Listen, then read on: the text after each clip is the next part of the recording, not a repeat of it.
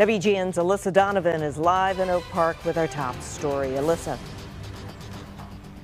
Good evening, Jackie. We did just receive an update from Oak Park Police about this shooting. They tell us this happened around 1 p.m. today here on Madison Street. It was a drive-by shooting as a funeral procession was going on westbound along Madison towards cemetery. Police say that during that procession, a car came up and shot at another vehicle that was involved in that procession. Four men were shot. Two of those men are in critical condition at Loyola. Two others have minor injuries. And of course, we did talk to neighbors earlier today who live in the area about what happened and it was just mayhem. Right around noon on Saturday, Oak Park residents heard gunshots coming from the intersection of Madison Street and Kenilworth Avenue.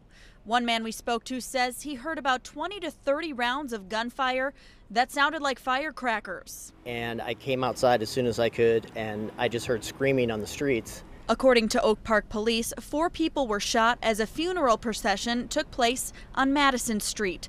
Police believe the shooting was targeted. At the scene, a black Volvo was riddled with bullet holes.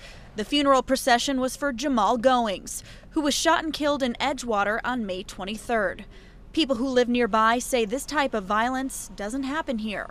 It's not expected in Oak Park. You think it's in other parts of the city where you hear about it, and to to reach to Oak Park, you know, just shows you it can happen anywhere.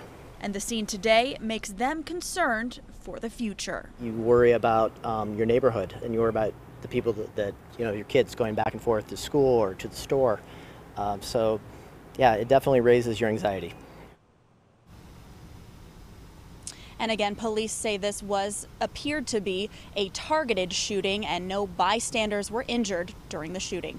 Reporting live tonight in Oak Park, Alyssa Donovan, WGN News.